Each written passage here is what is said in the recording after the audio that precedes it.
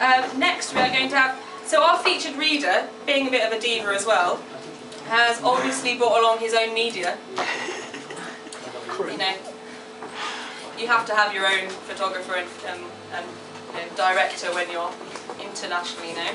So um, the gentleman in question has asked if he could read, and I said, well, you know, poor guy, filming for David. He's also the press you can agent. have your five minutes of fame. so if we could give a very big round of applause for Joseph, who is behind the camera. and he's a virgin!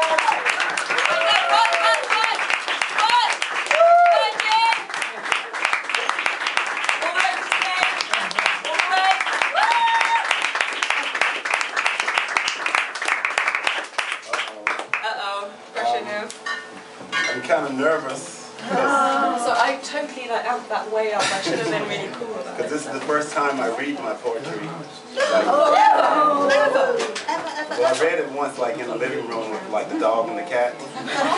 Wow, we're really honoured. Oh, well done. I usually I sing my poetry.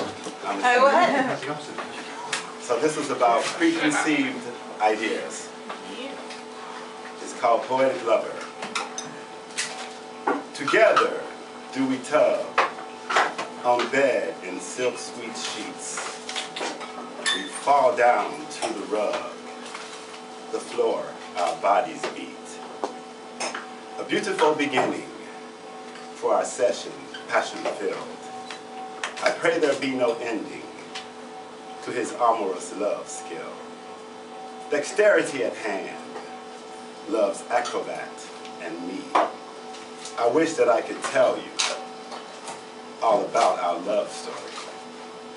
Magnificent he moves, angelic reign of love. Divine so smooth, love's too. I'm floating up above. And never word he spoke, our bodies did the talking. Around my neck a yoke, all over me he walking.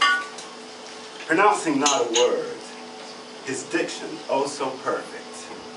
For every syllable he made, echoes, echoes, effect. He's my poetic lover.